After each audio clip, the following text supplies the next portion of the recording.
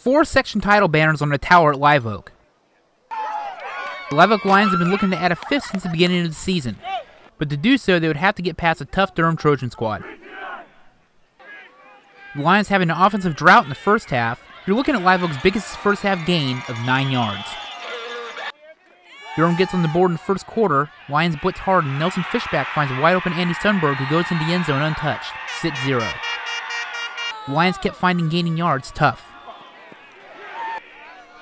On to the second quarter, Lions botched a punt snap in the end zone and the Trojans are gifted another two points, 8-0. Later in the second, Fishback keeps it off the left side and dives in for the score, 14-0 at the half. Second half, the Lions still trying to fight their way back in. Durham keeps striking, Fishback finding Sundberg for the second time, 21-0 Trojans. Lions force to spread it out. Tony Montez at quarterback finds Anthony Alvarado for a first down. Then Caleb Allen finally breaking through for a big gain.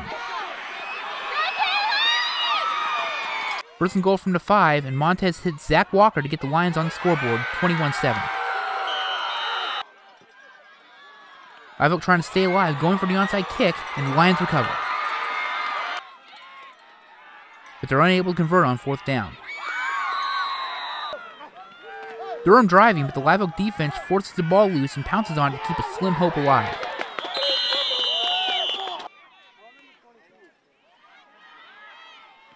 Live Oak trying for a big play here, but out comes the ball and the rest say the Trojans come up with it.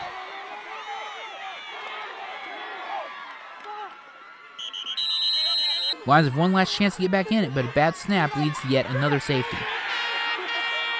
The game is called with 46 seconds left after a scuffle breaks out, and the Lions wind up just short of their goal. Durham wins 23 7.